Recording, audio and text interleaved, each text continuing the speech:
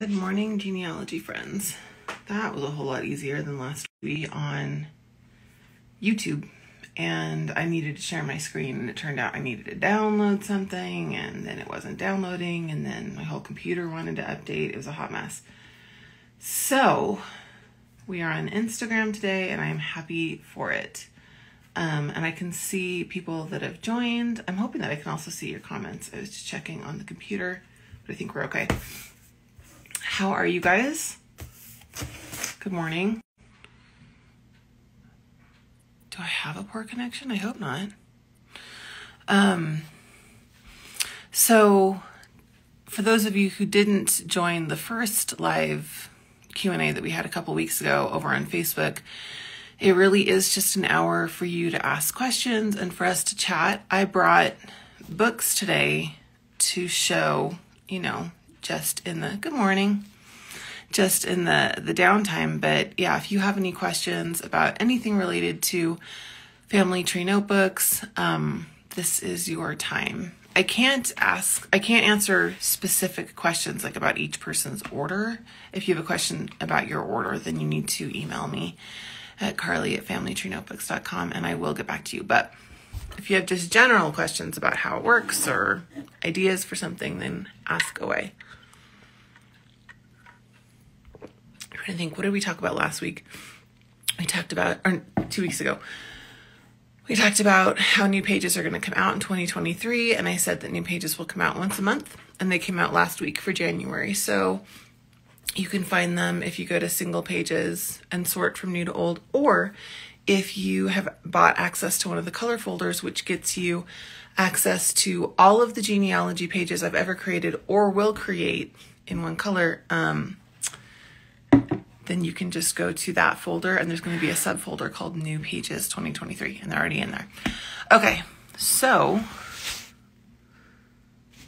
can I flip? Is that flip? Yes. Okay. I brought three of my family books. Um, if you caught FTN TV, you saw that I have my family trees in books that have different covers. So I bought I brought three of them. It's funny because they are um, different levels of complete. These ones, at least. Um, so you're going to see that some of them have been updated to the two page spread, and then some of them I still need to work on. But let's jump in. Um, this is the Chinese side of my family, which I feel like we see kind of often. So, well, we can start with that. It won't take long to flip through it, and then we'll move on to the others. Um, I do have to skip the earliest generations just because there's living people. Please hold. Okay. And we will just do a flip through. This is one of the books that has been recently updated to two page spreads, which I really like. I wasn't sure about it at first because when I first started making these books, all of mine were just one page at a time. But it is easier to read and follow, especially because these disc bound books, uh, they're just kind of large. And so it also, of course, cuts down on how thick the book is. This is my great grandmother who was an orphan or who was adopted as a baby. So we don't know almost anything about her birth. But with DNA help, I am working on it. Um, it was a sort of scandalous thing. She was a white baby placed with Chinese people. And then there was a court case because they decided that uh, it was child cruelty to be in a foster home with Chinese parents, and so they removed her and put her in an orphanage. This orphanage, the Cameron House in San Francisco. Um, you can see I'm using, so like I've got the orphanage page here, and then a lot of times this side is more for illustration. Um, I don't know which is better to have you down like that so you can see both or see one page at a time or to be able to see both pages.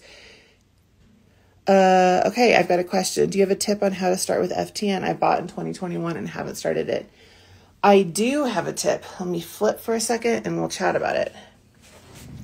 Um, the easiest, like if you really feel like you need a lot of guidance, is to take a course. Uh, the next course open the enrollment starts in March 1st, and that it's called the FTN Masterclass, and we're really that's all we're gonna do. We're just gonna walk from absolute, absolute getting started, step one, all the way to having a completed book. That's the point of the course. If you're going to get started on your own, I always say to start with the index and fill in as many people as you can. You know, so you pick one person to start your family tree. In this case, this is the book for my mother, and she's the root person. And then I filled in as many names as I knew. That will give each person that you know a set index number, and then you can start putting in pages with the information that you've collected for those people using their index number. And just putting in names that you know and then putting the information you've already collected into pages and putting them together, you know, in numerical order, that's going to build a basic book pretty quickly. And then um, then from there, then you just do more research and you flesh out the book um, over time. And so if you absolutely don't know anyone, I don't think that there's anybody that I have worked with who uses Family Tree Notebooks pages who absolutely doesn't know the names of any family. That would be very difficult. Even if you can only name four or five people, that's enough to get a book started. Um, so yeah, I always say start with the index and then using those people's index number you know, let's say somebody now has an index number and you have a couple photos of them or you found a marriage record or something. You don't have to build the chapters in order. You just have to take the information that you have, use appropriate pages. And um, for example, building my great grandmother's chapter, I could have started with the orphanage page if that's what I had known about her. And this index number would have tied it together because it's with all of the other pages that use her same index number. Um, I mean, it's kind of like cooking. People that you share the book with are going to see the finished product. They're not going to see your process. So do it in whatever order you need to. And uh, it'll just sort of build itself. Anyway, if anybody has any opinions about whether or not you want to see two pages at once or just one page, let me know. I'm going to keep doing one page at once. Okay, so here we've got a census page. Uh, okay, second question uh, are you able to change the root person at a later date? Yes, it's only complicated because changing the root person changes the index numbers for everybody. Um, but if you have the pages completed for people, all you need to do is then go through and then just erase the index number in the bottom corner. Uh, I have done books. Well, I, don't. Did I bring one up? No. Um, so the index only goes to fourth grade grandparents. So I have done books where somebody is a fourth grade grandparent in one book, and then I make a new book where that person is a root person so that I can continue that family line. So they end up being um, in two different books with two different numbers. That's the only time that I've really messed around with root numbers. I mean, I I had a very clear sense of whose family tree books I wanted to build. And I was thinking not necessarily for my organization, but like for who I was going to share it with. So my mother's book can be shared with her siblings and it can be easily, you know, cut in half and then shared with cousins who only, you know, want one side of my mother's family.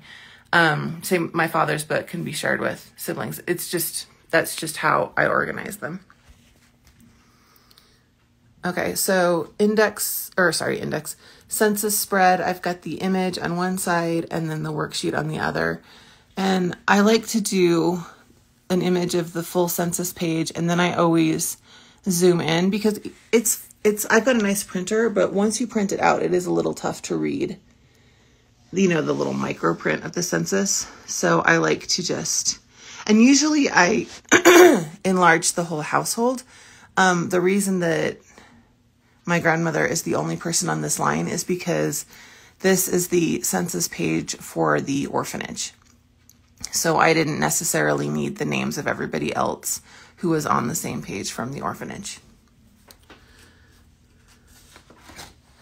Um, okay, we've got marriage records and we've got courtship records. These are excerpts from an interview that one of her children did about how his parents met and fell in love, and then some early photos of my great grandparents. And then we have marriage records. Um, so growing up with Chinese foster parents and then being forced to go to a Chinese orphanage because she didn't speak English, it's not a surprise that my white great grandmother grew up and married a Chinese man. Um, unfortunately, because of the laws of California that made it illegal for white women to marry Chinese men at the time. Um, they had to cross state lines. The weird thing is, it was also illegal in Nevada, but um, apparently it wasn't as enforced. So, and then we've got marriage records. For a long time, I thought they just didn't get married, but they were married in Nevada. Um, and then sister in law, who was a very prominent person in my great grandmother's life. This is my great grandmother and her sister in law. And they actually knew each other because they were at the orphanage together and they grew up and married brothers. And both of the brothers died relatively young, and they spent the rest of their lives um, raising their children together and kind of being a family. So, but yeah, this is them young at the orphanage in their little uniforms, and then this is them when they were older. Um, and then just photos of my family. We've got the 1930 census. Here you can see that the enlargement includes her husband and um, their children. It's actually, so it's different households. This is the sister in law in the fishing village that they lived, they all kind of lived together, but they lived in these little like shacks. So it's three different households. But um, unfortunately, my great grandmother had a drinking problem and didn't live with, like, technically live with her kids a lot, but they all lived in the same little area. 1940 census. And then the 1950 census. I'm always so excited to see this. It was so fun to add it um, residences. There weren't many, but these are uh, to the foster homes and then the orphanage. And then uh, she lived at China Camp, which is now a state park in San Rafael. Um, more information about China Camp. She kind of became this larger in life person and she was featured in the newspaper a lot because she was this short, fat, cigar smoking, beer drinking woman who had a very loose grasp on whether or not people had any authority over her. Um, but she was also fierce about defending her Chinese ident- identity, even though racially she wasn't Chinese. She spoke fluent Chinese and believed strongly that Chinese people were better than white people.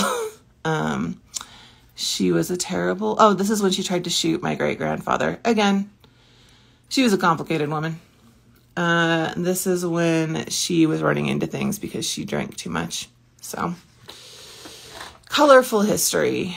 Uh, this is a famous artist that she was friends with. He made her this little birthday card. And these are clippings about his work. Um, and then her death records. She is buried not next to her husband, but next to her sister in law. And then I've got my source citations, which I keep at the back. This is her husband, my great grandfather. Um, who by all accounts was a very, very kind man. Prone to philandering, but very kind. This is the timeline. I love to have a timeline for each ancestor because it helps me see the gaps that I haven't filled in yet. Um, end of his timeline. And then here's a, a page for his parents. They each have their own chapter, but I like to just throw in a parents page just to sort of round out each person's individual chapter. This is his brother he had the one brother and he died fairly young, but um, so I have information about his passing. He died of tuberculosis when his kids were babies. Uh, census pages,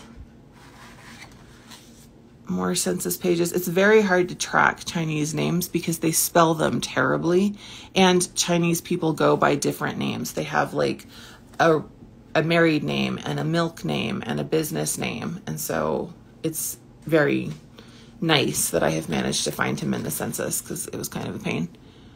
Um, 1920 census, 1930 census, which, yes, the 1930 census is already in Grace's chapter, but it's a record that includes Henry. And this worksheet is then filled out for Henry's information, whereas Grace has a, a worksheet that's filled out with Grace's information. So not only does it make sense, froze for a second. Um, Okay, it looks like you guys are still watching, so I think this is going okay. If you're having any problems hearing or seeing what I'm sharing, um, let me know. Uh, thank you. I'm glad you're enjoying it. Okay. Maybe my phone just got tired. it's like, wow, you've been talking for a long time. Uh, okay, another census page for the 1940 census. Um, here we have more people that have snuck in. Let me switch off my Wi Fi really quick. Okay, maybe that'll be more stable. People who weren't related who kind of snuck in. So this is my great grandfather living with his, it's listed here with his wife and kids. This is his sister in law. And then um, we've got another person who has snuck in who uh, was just sort of living among them who isn't related. And then this is my Auntie Jet, who's actually she's the last person in this family. She's still at China Camp.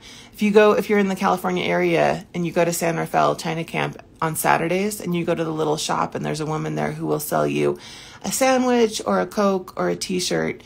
Um, that is my Auntie Jet. She's 96 now. Um, but yeah, here she is with her sister. And then this is the grandmother, Mary, who was actually named Yeezy, but the white people couldn't handle that. Uh, question Where does your surname come from? I'm related to the Morgan surname. I married into it. And do I have that book? I don't have that book. It's my husband's family. Um, I am one of those people who changed her name when she got married. Okay, so then we've got the World War II draft card for my great grandfather. Uh, he was 48 when this draft card happened, so he never saw service. But living in the village in California, uh, he served in the Navy and served in the Pacific. And more images of the World War II draft card. The draft card has a reverse side. You always want to make sure that you include that and that you don't miss it because it has um, interesting information. Okay. Uh, then we've just got little clippings about his business, um, the fishing business. There were a lot of racist laws that affected the fishing because the Chinese people were very effective at fishing and so they passed laws saying that you couldn't use certain kinds of nets because they were taking up all the fish. They weren't actually taking up all the fish. The thing that would eventually kind of kill fishing in the bay wasn't overfishing. It was the fact that they rerouted the water and made it too salty and for all the farmers. Um, but at the time, the white fishermen didn't like how many more fish the Chinese people were catching, and they passed all sorts of laws and from what I can tell in the paper, my great grandfather ignored all of them and occasionally got arrested because why wouldn't you? Uh, here he is doing whatever he wants to catch as many shrimp as he wants. But again, apparently a very nice guy. Uh, images of China Camp, not exactly a booming metropolis, but very comfortable for those of us who wanted to live in a Chinese shrimp village. Um, a little and people started to see it as like a tourism spot, so they made these pages about it. This is actually my grandma holding a shrimp net, uh, being just the cutest little potato I've ever seen in my life. But yeah, more on that. Um, then we've got liquor licenses and weird side businesses. Um, there was a lot of bootlegging and situations like that that were happening during the war. My great grandparents were very enterprising. Um, then there was a uh, slot machine situation. This is my great grandfather getting arrested for that. And then you have his death. He did not die as young as his brother, but he still died at 55. So he died relatively young. And this is when he left his wife and then she spent the rest of her life living with the sister in law. It's because he passed away at 55. And then we have his source citations. Okay, moving on. This is the other side. This is my um, grandfather's family. So this is his mother. Um, and she is very young. Is your husband from the UK? It is a Welsh name in the UK. Yes, his family is originally from the UK. Uh, more photos. This is a photo of my great grandmother, my grandmother, my mother, and me. Um, and she passed when I was a year old. Her timeline. Um, she got married and immigrated at just 19 from China. I know absolutely nothing about her life. Before. Well, I know her family structure, and you'll see why in a second. Um, she lived a long time. I don't have a lot filled in, not because I don't know where she was, but because she was really just keeping her head down and working. her husband died young as well. Uh, information about her parents. I do have this one photo of her father, but I don't have other information about her parents. And I know that she had two sisters and a brother, but I don't know their names. Um, and then we have lots of immigration records because uh, my great grandmother came through Angel Island off of San Francisco at the time when they were holding and interrogating the Chinese people that were coming in because of the racist anti immigration laws. And so she had to submit tons of paperwork. This is her and her husband that she knew for like three days before they got on the boat.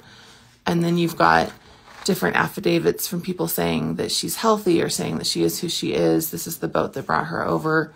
And then while she was held, um, she had to do lots of examinations and interrogations. This is Angel Island. This is where she would have been held and examined. Um, and so you've got this is just some information about Angel Island. And then you have the beginnings here of the um, interrogation. And she is answering questions as best she can while they decide whether or not they're going to send her back to China. Um, this is poetry that it's not that she wrote it, it's, it was carved into the walls of the cell at Angel Islands. We don't know who wrote it. Um, it just talks about how lonely they are and how scared they are. Um, but I think it's very beautiful. Uh, more paperwork, more paperwork. And then this is the application receipt for her certificate of identity. This is after she was admitted. The nice thing is, I mean, at first I thought, man, that American diet like really affected her because let me find, uh, I've lost her initial, for heaven's sakes. Okay, so if you look, this is this photo of her from that was taken like in China right before she left, right? And affixed to her paperwork. And then you go down to her certificate of identity and like her face is much fuller. And I thought, wow, you know, she really got here and started eating. Um, she got pregnant on the boat. so she didn't know him for more than a few days, but they got to know each other. And she had uh, my grandpa's oldest sister, not not that long after she was ident- or she was uh, admitted. And then we have um, a photo family tree. This is her with her husband. Um, this is my grandfather here, and this is a family photo of them. I, I know about her work. I haven't added stuff in yet. Um, census image, and I went ahead and just tacked this family photo that would have fit this size family at the time. Um, again, this is let's see. Uh, this is my grandfather. I'm trying to think like, okay, who's, you know, who's who? Census information. Um, this is the 1940 census and the 1950 census. And then her naturalization information once she was naturalized. She was naturalized when her children were adults. Um, it takes a long time. this is the original petition for naturalization. And then I've got her death records, images of where she is buried, and an obituary. I need to do the source citations for her. Uh, this is her husband, my great grandfather, my father, my grandfather's dad, and images of him. Um, very handsome man. And his timeline. So his timeline only reaches from um, birth until he's 43. Unfortunately, he committed suicide. And I have some records about that that haven't made it into this printed book yet. Um, this is his immigration record. So this photo is actually his immigration stamp photo, this one. And I used the photo filtering software on MyHeritage to sharpen and colorize it. There's this is like a ongoing thing about um, it's sort of like a mixed opinion thing. There are people who think you should never do that because it's not an accurate historical representation and like my descendants are going to be like, "Well, where's the colored version of this photo?" and you shouldn't sharpen it because then you lose, you know, the honesty. Um I I actually like occasionally throwing in edited photos that I feel like make the pages more attractive, especially you know my my family is willing to look at the family books. They just don't want to do the research. And so um, i'm fine throwing in photos like this uh, especially if i have a copy of the original which i do right here. Um, but i don't know. I, I would like to know your opinion on whether or not it's dishonest to use modern photo editing uh, to enhance historical photos um, or if we should just leave him alone Okay, so his immigration paperwork, he came over at the same time. And so his father was actually an American citizen who had been born in America, which is unusual um, to have a Chinese man who was born in America and was able to bring his family over. And this is after the big earthquake when paper sons were a problem. Paper sons is the term that refers to the fact that there was a big earthquake in 1906 in California and they lost everybody's birth records. And so then you had a lot of Chinese people who had not been born in America saying that they had been born in America. And then you had people who had been born in America who brought people over from China who weren't related to them for money because that was like the only way to immigrate. Um, so it's one of those things where you're like, oh, it's it's sort of embarrassing that my family went around the law. But then you think about it and you're like, they went around the law because the law was awful. Uh, anyway, but he truly is the biological son of this person who was born in America. So my family's actually not descended from paper sons, um, but there were paper sons that were involved, and you'll see a little bit more of that in his father's uh, chapter. This is his first wife who died in China in childbirth or shortly after childbirth. My great grandmother had no idea that she existed, and in the interrogation, they ask her repeatedly about the first wife and she's like i don't know what you're talking about. My husband's never been married before. And he totally was married and just didn't tell her. So that must have been an awkward conversation when that came out. Or maybe they never talked about it. I don't know. So she's the second spouse. And here is again a colorized image of the two of them uh, that same family photo and then he had a truck that he sold vegetables out of. So that's him with his work truck. And here he is in the 1930 census and in the 1940 census. And he does not have a 1950 census because he did not live that long.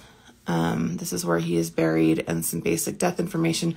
I do have paperwork about from the coroner about his suicide. I just haven't included it yet or his source citations. Again, unfortunately, in the digital book I have, this is actually all filled in. I just haven't taken the time to print it out. So do what I say, not what I do, being a bad genealogist. Going back to the other side of the family, this is the uh, this is Yi Si, and I actually have, um, if you can see right there, that is her portrait. That's a bubble portrait that used to hang in my grandmother's house, and it's in my house for now um, but that's this person. And she was born in China and brought over. She was tiny. Look at her compared to this car. Um, tiny but very fierce, and she lived a long time. And she was another resident of China Camp. And again, I have no information about her life between her birth and then her marriage. And then I've got, you know, this son was born, this son was born. But she is occasionally mentioned in the newspaper later in life. I have nothing for her immigration records. I have reason to believe that she was brought over and then auctioned off, um, which happened a lot for people who needed wives or who needed people for brothels. Um, I need to write that up and include that in her chapter. Okay, so census information, the 1900s. Um, this is the 1910 census and the 1920 census and the 1930 census. I do include all the censuses together. Um, I don't break them up, you know, for events that happen between censuses just because I think it's easier to flip through that way. Um, but her chapter doesn't have much else. So then we've got death records. She's actually buried, it says George C. in the Nisi. This is not her husband, this is her son who died young of tuberculosis. Her husband, you'll see in his chapter, dies in uh, San Francisco, and then he's actually taken to a um, cemetery that was south of San Francisco. It would have been a very long, very difficult journey for Yisi to go down and visit his grave, especially since this all happens before the Golden Gate Bridge. And she's on the other side of where the Golden Gate Bridge now connects into the city. Um, the reason for that was that it was already illegal to, well, it was, they were tightening the restrictions on who could be buried in San Francisco, anyways, but it was illegal specifically for Chinese people to be buried in San Francisco. And so he was taken to a Chinese cemetery south of San Francisco and I don't know. I don't know if she ever saw his grave. I don't know. My grandmother had no memories of going all the way down there to see his burial. And I've actually, I haven't been able to figure out which headstone is his because all of the um, headstones in that cemetery are in Chinese, which I can't read. But yeah, so she is, my whole family is just kind of confusing because you would think that my great grandparents would have been buried together and that their, you know, his parents would have been buried together. And instead, she's buried with her son, which left my aunt, who was married to this son, not either she would have been not buried with anybody, but then she ended up being buried next to my great grandmother. And then it's my great grandfather who sort of ended up being buried somewhere else. There's also a um, a baby that's buried in the cemetery that's not anywhere near them. Anyway, little article about Grandma Kwanzi. People were familiar with her. And more source citations I haven't printed out. Okay, so this is her husband, who was a merchant in his timeline, which is, you know, again, fairly empty. Family photo of the two of them with their two sons. And he was able to have a certificate of residence. This is the paperwork that allowed Chinese people to live and work in America. So he would have had to carry this to prove that he was allowed to be there. Um, it was mostly given to people who were able to do something, I don't know, interesting, uh, something that was considered more significant. So he is uh, listed as a person other than laborer because he was a merchant and an importer. Um, this is kind of a, a horrible thing that he had to carry. And at the same time, it's so nice to have a photo and these like very clear information about where was he living, who did he work for, what are his physical marks and stuff like that. So from a genealogy standpoint, this is a wonderful document, but it still makes me sad that he had to carry it. And uh, a closer picture of him. I think he was very handsome. And then I've got a worksheet where I've just um, written out the information. Got the 1900 census, uh, 1910 census. We have occupation records, so in China Camp, he ended up having a general store. This is him with people who are coming to visit the general store. You can see this little sign up here, the Yikyuan Chinese store in China Camp. So you've got all these people who would come out, you know, for the weekend and they're taking pictures in front of the Chinese store. And then this is a photo of him with his pipe in front of the store. And I don't know where the original photo is. So this is the best image I've got. I would love to find this photo, but I don't know who has it um, more images of China Camp during his life when it was truly a very humble little fishing village. And then we've got his death records, and this is the Chinese cemetery where he is buried in San Mateo um, after he died in San Francisco. And the mortuary records um, of Chinese decedents because the Chinese records are held differently than regular mortuary records. and his blank source citations page. I have a page here for Shiju, which is my um, great grandmother's mother, but I don't have any information about her. So it's really just a placeholder. And then I've got this one photo of her father, um, but that's all I have. And then we've got this is we're switching back to the other side of the family that was coming through Angel Island. This is the mother, who was also from China and immigrated when she was older. Um, and you can see I've taken these original photos and then used um, the MyHeritage photo filters to colorize them and sharpen them up a little bit. Um, her immigration records. So she's immigrating to join her husband and they, she still had to go through everything, but um, I actually, if you look at the transcript, I think they were easier on her, and I don't know if they were easier on her because she was an established wife, which was a lot less common than a paper son, or because she was just a bazillion years old and she was probably three foot nothing, and so, or maybe she, I mean, she has that face. Maybe she just didn't want to listen to them, and they didn't want to talk to her either.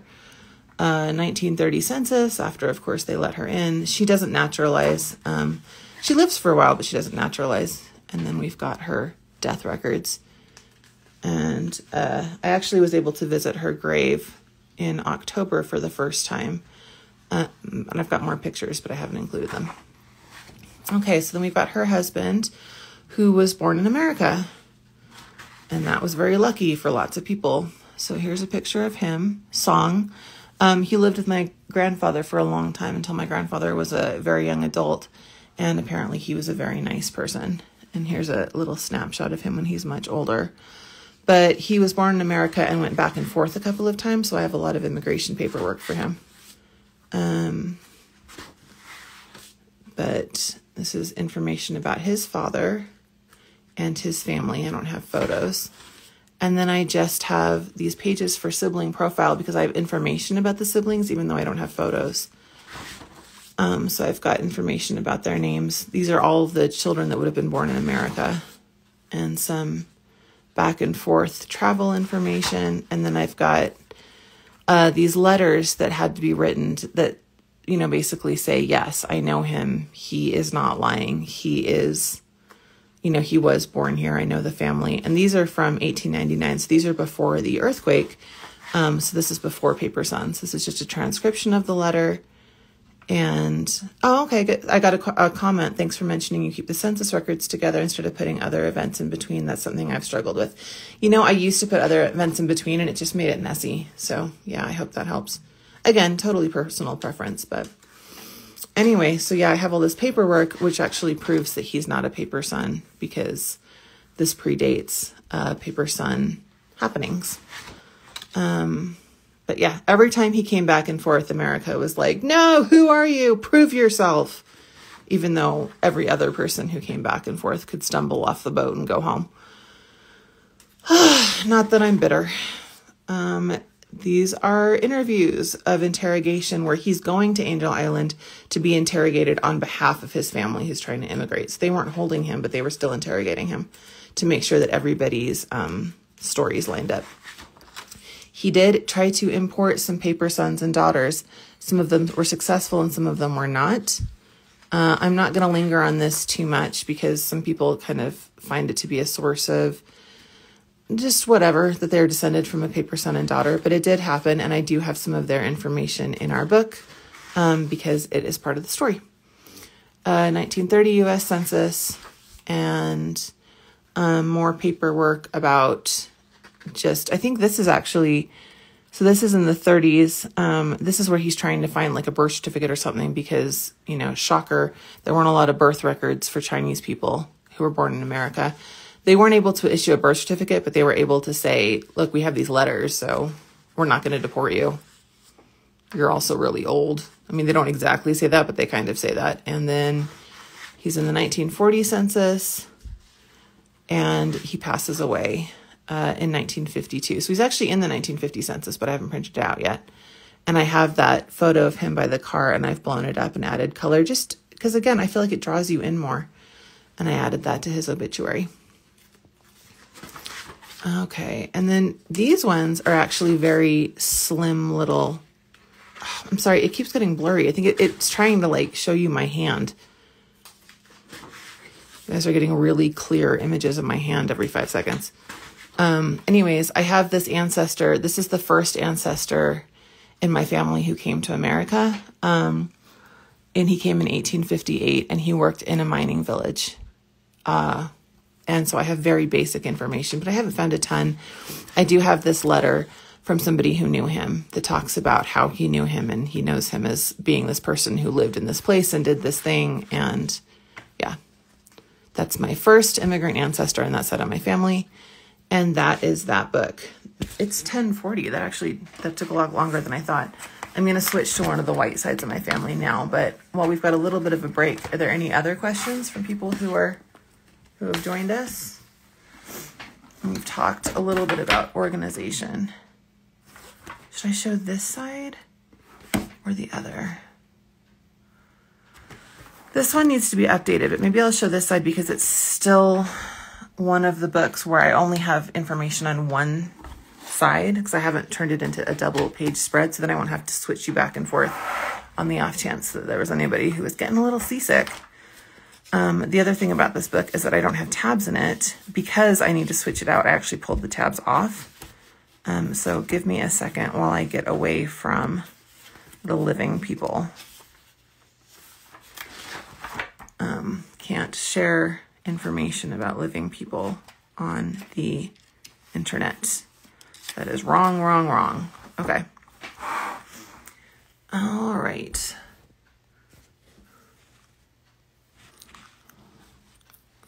So this is, yeah, like I said, this is a book that digitally has, it doesn't look anything like this now, but this is the printed version that I took a long time ago to a family function. And we've got a 1900 census and then the census image follows. You can see how if I was able to put the census image here, which I have now, that just reads a lot better. And of course it doesn't use up as much paper. Uh, the colorized photos show more details. Love the colorized photos, especially with them next to the black and white photo. I agree. So thank you for backing me up. I just feel like it, um, it adds a little something. I don't know if I should add a notation saying that I colorized it. I mean, I could, I just never have. 1910 census. 1940 census. You can see I lost her for a bit there. And then death records. We've got an obituary that I shrunk down. Um, yeah, this book needs to be updated. Then we have her husband. This is not uh, biologically my side of the family. This is part of my husband's family. So I know less about these people um, than I do about all of the scandals of my family. Um, my husband's family lived uh, relatively, I don't want to say normal, but the events that happen in their life are like, oh, they they got a promotion, they visited their child, they moved to a new cabin. Whereas my family, it's like they got arrested, they shot somebody, they were part of a citywide scandal. So I actually like having both. It's a lot easier to research my husband's family because they show up in the paper just in totally normal, expected ways, and they're in the paper often. So that's nice. Okay. This is an ancestor who died in a tuberculosis sanatorium, and I've been trying to get those records for a long time. I have not succeeded. Funny story my husband grew up with this photo on his wall. We had been married at least three years, and I knew my husband for a long time before that. Before one day I was walking down the hall and with him, and I said, Okay, you've never told me, but who are these people? And he looks at it and he's like, I don't know. I think that's just a decoration. Yeah, it's not a decoration, you guys. It's a family photo. I asked his mom and she was like, Oh, I think that's part of my family. And then we flipped it over and there's this like beautiful typed out, this is who everybody is thing. And it's totally his family. They had been just walking by it like it was art at Cracker Barrel. Uh, I thought that was really funny and cute. Uh, my husband will get into genealogy, but only if I've digested it and put it into pages like this for him. He just does not want to do the research. He'll also humor me if I talk about it for a long time, but it's not his thing. Anyway, I've got profiles for each of the siblings. There were a ton of siblings. A lot of their photos come from that group photo. Um, there's different siblings pages because there were different parents. So I've got these siblings pages where they're all grouped together, and then I divide it down into specific sibling profiles. But you can see there were a lot of siblings. Not a ton to do in uh, West Virginia. Although they were like farmers and miners, so in West Virginia, so maybe they just needed the help. A lot of them lived for a long time, and a lot of them never left West Virginia. So it's just funny. It's like my husband and I actually met at Disney World. Uh, and so you've got somebody from Pacific, California, Chinese roots, and somebody from a combination of deep south and then West Virginia roots. And we got married. Now our kids have this family tree that's just completely chaotic. Uh, Morgan says, I put all of the children with the mother and include information about them. That makes sense. I like to do siblings because I like to keep the generations on the same line, but it doesn't actually I mean, it doesn't, as long as you just pick one system and stick with it so you don't make yourself crazy, I think that that works. Um, this is somebody who, he's a draft evader for the First World War. It's kind of sad though. He's a draft evader after his brother dies in World War One. And then,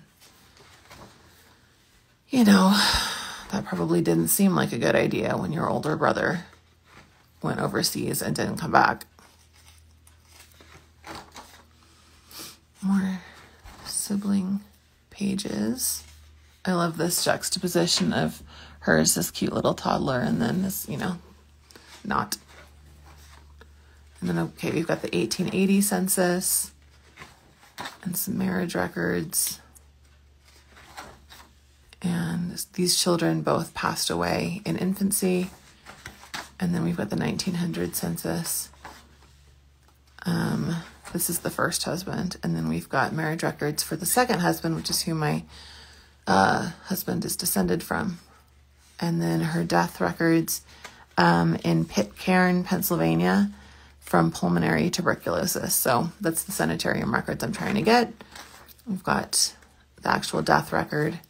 And then we've got these bonds where legally her husband was forced to acknowledge the children that he would take care of them. I thought that this was really weird and I wondered if like their paternity was in question, but then looking into it, um, apparently this just happened all the time. That even though he was established as their father, because the mother died, they had to like make sure that he really knew he had to take care of his kids, which is kind of sad, but I guess was just normal. Um, anyway, that's what these documents are. This is her husband which is her second husband and the one that she had living children with. Um, these pages are a little more stuck together. The 1900 census and the image. And then here we've got, um, he has different wives. So, um, that's why there's different census thing. Sorry, I'm, I had a total, uh, my brain melted for a second. I'm tracking him across census pages, and the the people in his household change to show the different children and when they're leaving. This helps me track. Okay, did a child disappear before they should have, and also who is listed as his wife. Um, he has children with his wife Amanda, who is who my um, my husband is descended from, and then he married a woman named Evelina and had um, other children from her. So the Evelina is, you know, in the census as the wife, but she is not the biological um, mother of most of these children. But then at this point, um, so Lenore is the last child of Amanda, and then from Violet forward, these are um, children of Evelina, if that makes sense. So the the census page just kind of helps me, and this is actually this isn't one of the early versions. If you'll notice, this isn't what the census comparison page looks like now. This is because I used to just make these basic tables. Death records. This is his will and testament. Um, and then ancestor profiles. And we've got another very basic um, page about John Killian, who was married to Mary Killian, and then all of the different children, and then the fact that her death is indicated because she's absent in the 1930 census, and he's listed as a widower. Not a ton of information about her otherwise, and no photos. Killian. And then the certificate of death. Her husband. And his obituary. it's a very short chapter. I have more on him. It's just in my digital thing. Sorry. Uh, it kind of struck me off, off guard. he was born and then he died. Uh, okay. And then we've got the Runkles, um, and the Morharts. I have a lot more in this family. It's just not in this book. I really need to sit down and print these things out. This is just him talking about, he's not dead yet, but this is his seriously ill. So um, I have it on this newspaper excerpt. I, I would use a different page for that now.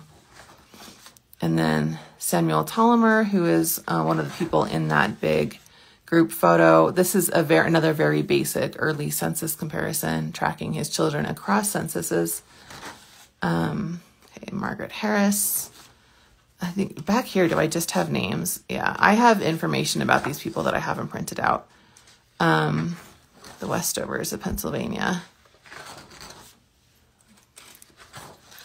And then here we've got some Civil War records, which again, I have very basic printouts, but I would use different pages for these now.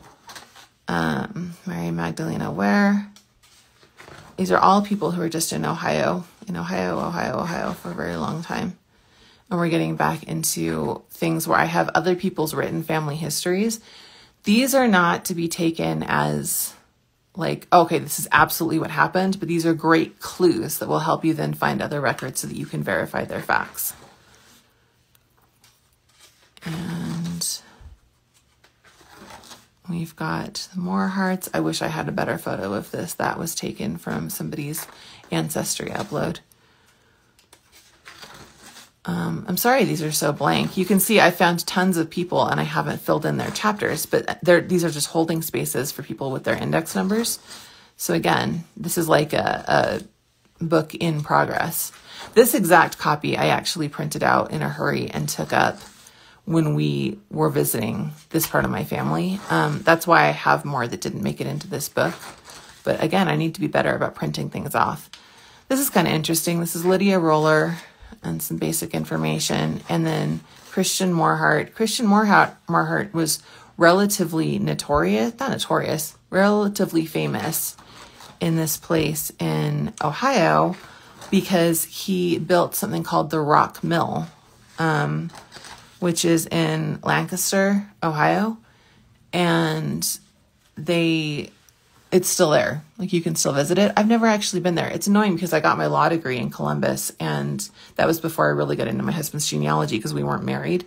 And so I would have been 40 minutes away from this and I never went and visited. And we every time we go back, we go to Akron, which is nowhere near Lancaster. So I need to go at some point.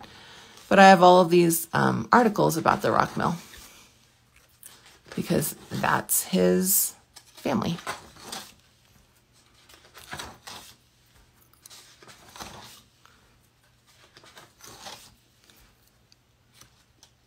This is that, you know, the photo that I'm using. I would love to get a better photo.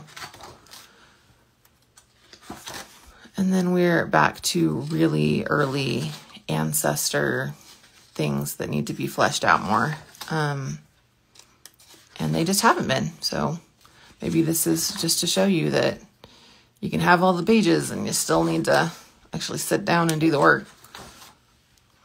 I have been sleeping on this book and just not not filling it out. Okay, we're back into 1758. See, a lot of these are just other people's family history work, but I now need like that. The task falls to me to back it up. So this is included in the chapter, but you have to, um, you have to flesh it out with real, real records. Okay. And I think, yeah, we're it. So let me flip this around. Oh, or let me just zoom in on part of the table. There we go. Okay, well, it's 1054. I brought another book, but obviously we're not going to have time to get into it. I didn't realize that the flip throughs were going to take that long. So in the last five minutes, if anybody has any other questions, um, I am happy to answer them. I don't have, oh, I do have, there's only a few of you on that are live right now, but I do have um, a little hint. I didn't know when to like say this, but be sure that you are on my email list. Um, which you, you have to go to familytreenotebooks.com and sign up. And it's like, if you get any of the freebies or any of the free downloads, then you join the email list. Um, which you just scroll down and you'll see the free downloads that you can get. Uh, you're going to want to be on the email list for next week because I have something exciting happening. Uh, something that I never ever do. Little, I'm not going to tell you what because it's not time yet, but what kind of covers do you use for the books? Are all three of these? So these are just cheap covers um, that I get off of Amazon, and this is the brand. And you get them in packs of five. So, um, yeah, and all, all of these are the same, the same brand. And then the uh, discs that I use, I don't know if you guys can see, are this TUL brand. Can you see the logo? That's really, there we go. Can you see that TUL? Um, which are also from Amazon. Uh, I have a Levenger hole punch, and I have some books that I use like Levenger covers. Levenger is really expensive, but I got a Levenger hole punch because of how often I use the hole punch and I wanted it to hold up. And so I have like a leather Levenger cover and I have this other one that looks like marble. They're really, really nice. Um, they're just pricey. And I got to the point where one, I have a ton of discbound books. I have one for our family finances. I've got one for my business. I've got one for each course I've ever taught. Um, I have one that holds like records for our kids. So I needed to downgrade to cheaper covers. And then for my family trees, I wanted the covers to be very, I wanted them to be similar, but I wanted them to be very distinct by color.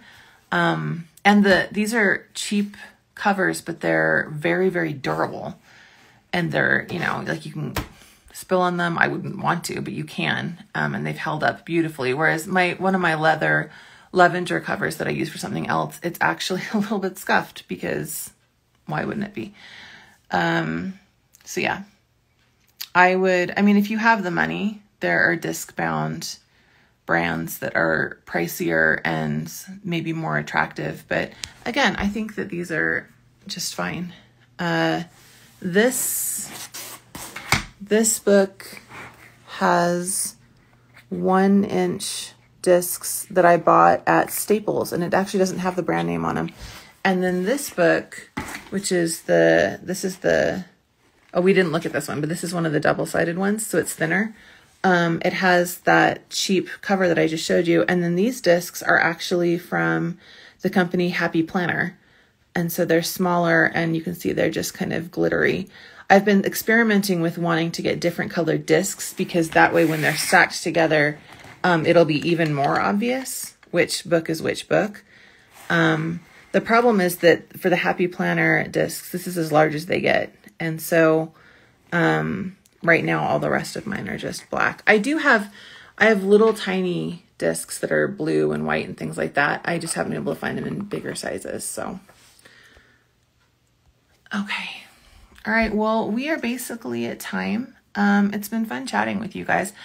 I am going to be on TikTok next week for the first time. We'll have to see how that goes. And I, I think I might have it be at a different time so that we're not only switching up the platforms that I'm going live on to let everybody have a chance to visit on the live, um, but also to give people who live in different places or have different schedules a chance. So um, that's also going to be in the email next week.